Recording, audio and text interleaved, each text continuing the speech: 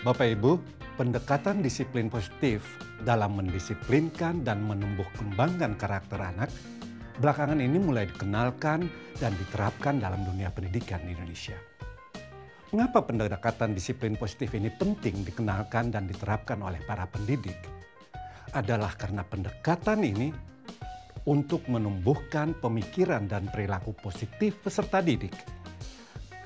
Karena kesadaran dan sikap bertanggung jawabnya yang diawali dari perasaan positif peserta didik untuk menghargai dirinya sendiri dan menghargai orang lain. Pendekatan disiplin positif bukanlah tentang peserta didik secara langsung, namun tentang diri kita sebagai pendidik yang akan berdampak baik pada peserta didik.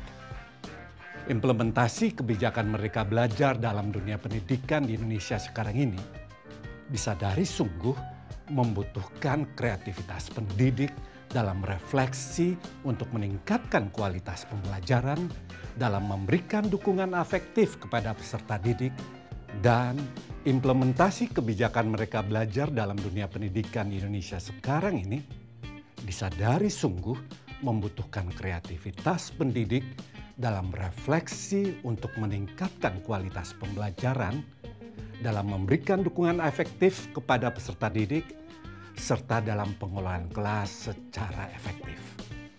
Pendekatan disiplin positif ini dapat mendukung penerapan kebijakan Merdeka Belajar, khususnya dalam aspek kualitas dan relevansi pembelajaran di satuan pendidikan yang meliputi kualitas pembelajaran, kepemimpinan instruksional, serta iklim-iklim di sekolah bentuk nyata penerapan disiplin positif di sekolah adalah gerakan disiplin positif di sekolah.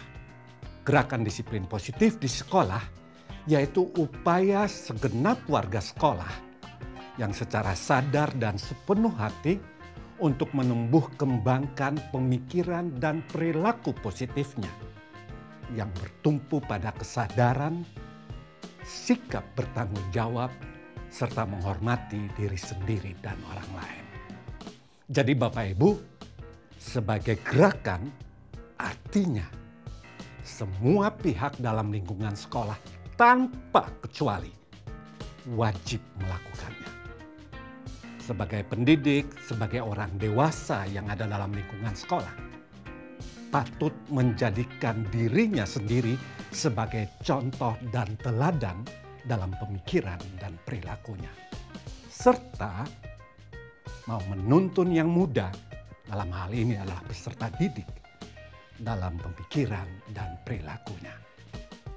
Sebagai sebuah gerakan, disiplin positif dalam penerapannya ada dua strategi pelaksanaannya, yaitu peningkatan kualitas layanan didikan dan binaan kepada peserta didik, serta pengembangan sistem dan kebijakan sekolah yang ramah peserta didik, yang mendukung pemenuhan pertumbuhan dan perkembangan peserta didik, serta bertumpu pada kepentingan terbaik peserta didik. Kedua strategi itu dilakukan dalam empat tahap pelaksanaan, yaitu tahap pengkondisian, tahap konsolidasi, tahap implementasi, dan tahap keberlanjutan. Jadi Bapak Ibu, tonton terus ya video-video tentang penerapan gerakan disiplin positif di sekolah. Serta juga series pengetahuan tentang disiplin positif.